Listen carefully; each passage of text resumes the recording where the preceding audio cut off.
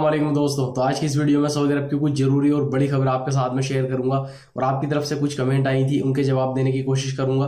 Video आप आखिर तक ज़रूर देखें ताकि पूरी जानकारी आपको मिल सके।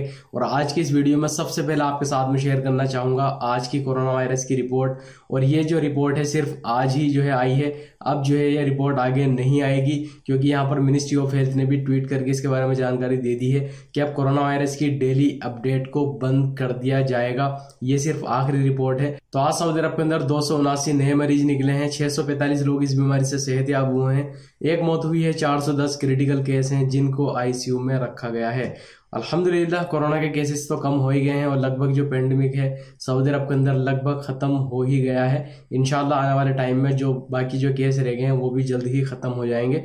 और इसके अलावा एक और ज़रूरी खबर आई है, जैसा कि आपको मालूम है कि कोरोना वायरस की वजह से पेंडेमिक की वजह से जो सऊदी अरब के अंदर छोटी छोटी मस्जिद थी तो वहाँ पर भी जुमा जो है हो रहा था जुमे की नमाज़ हो रही थी। लेकिन अब जो है इसको बंद कर दिया गया है। अब सऊदी अरब के अंदर जो जुमे की नमाज़ होगी वो आपको, जो भी आपके शहर में, आपके एरिया में जमा मस्जिद होगी, वहीं पर आपको जाना होगा जुमे की नमाज़ पढ़ने के लिए। और इस वीडियो को शेयर भी कीजिएगा अपने दोस्तों के साथ ताकि उनको भी पता चल सके, क्योंकि लोग जो है दूर दूर रहते हैं दूर दूर जो है काम करते हैं, उनको पता नहीं रहता है।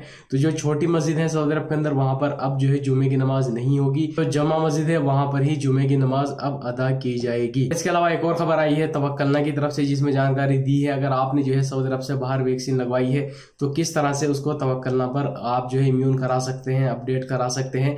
तो इस पर मैं पहले कंप्लीट वीडियो बना चुका हूँ, लेकिन अभी भी बहुत सारे हमारे ऐसे भाई हैं, जिनको इसके बारे में जानकारी नहीं है कि तवक्लना में उनका हेल्थ स्टेटस इम्यून कैसे होगा। अगर उन्होंने सऊदी अरब से बाहर वैक्सीन लगवाई है तो। खास तौर से वो लोग जो है कमेंट कर रहे हैं, जो फैमिली विज़िट वीज़ा पे अपनी फैमिली को यहाँ पे बुलाई हैं। उन्होंने तवक्लना तो बना ली है, लेकिन उनको ये नहीं मालूम है कि अब जो है इसमें तवक्लना में हेल्थ स्टेटस को किस तरह से अपडेट करना है।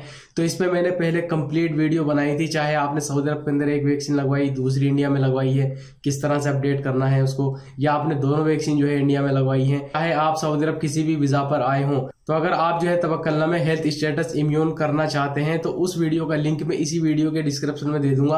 आप वहाँ पर क्लिक करके जो है पूरी वीडियो देख सकते हैं। उस वीडियो में मैंने पूरा तरीका बताया है, अगर आपने जो है सऊदी अरब से बाहर वैक्सीन लगवाई है तो किस तरह से ई सर्विस पोर्टल पर जो है वैक्सीन सर्टिफिकेट को अपलोड करना है, और इनशाला पाँच दिन के अंदर अंदर आपकी तवक्लना में जो हेल्थ स्टेटस है, उसको इम्यून कर दिया जाएगा।